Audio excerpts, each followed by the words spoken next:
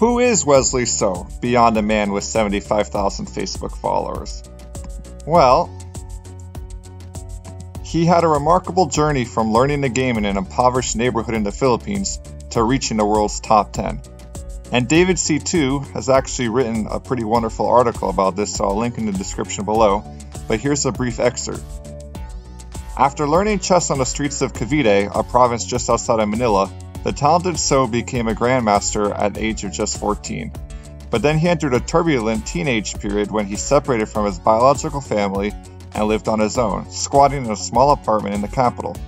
After, his, after finding his way to the United States on a chess scholarship, So was on the verge of ditching his ambitions to become a full time professional player before being persuaded to give his dream a go by the American couple Lotis Key and Bambi Kabigting, who later adopted him. In 2017, So became the world number two and achieved a FIDE rating of 2822, making him the fifth highest rated player in history. After watching his compatriot Fabiano Caruana challenge Magnus Carlsen for the world title last year, So is determined to secure his own shot at the championship. And actually, since then, uh, so this article was written back in 2019, I believe. You know, since then, a few years have happened. Um, he just competed in the U.S. Chess Championship of 2022 back in September. And he actually got sixth place. And he says during his interview after winning the Global Chess Championship that he was kind of taking things easy and he was just, you know, watching TV, but losing that, getting sixth place, you know, when he had won even the previous year, and losing the Fischer Random Championship, which happened uh, right before this Chess.com Global Chess Championship, which he also lost pretty poorly at. You know, he had been the reigning champion. He's won the Fischer Random tournament more times than anybody else in history. So losing those two things in a row, it really motivated him to try and do well in the in Chess.com's global championship, and and it worked. He did do well. Um, again, apologies for the no face, as uh, I, this is a new channel. I've not yet learned how to record my face while while I uh, read these articles. But um, all right, so another important thing about him he's an evangelical Christian. Um, maybe important to you, maybe not. And he reads the Bible every night. So let's go to his bio and read what else we have to hear about him. He was born in the Philippines October 9th, 1993. That makes him 29 years old.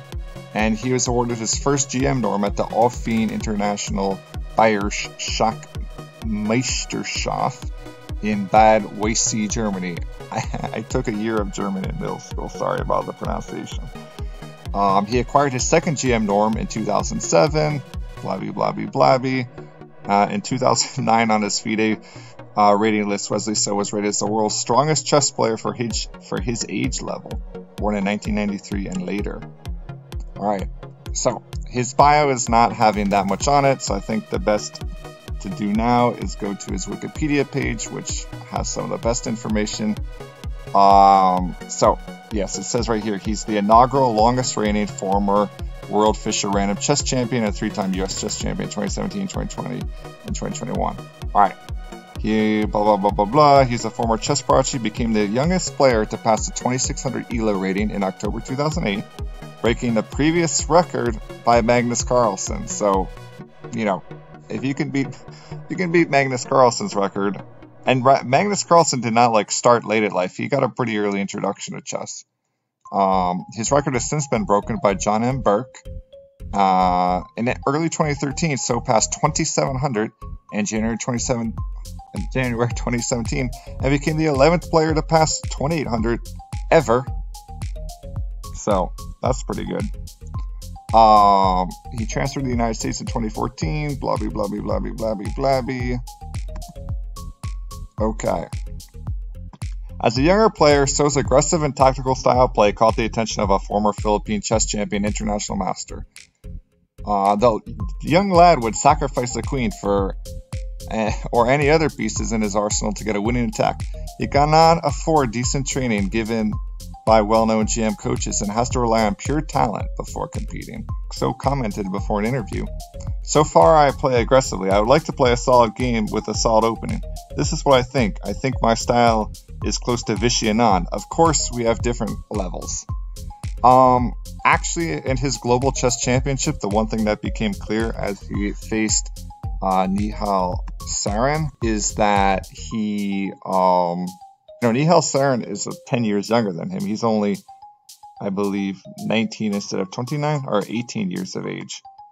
So he's he's 18. So you know, Nihal is really good in his calculation ability, and so is So. So they were really good competitors for the more rapid tournament format.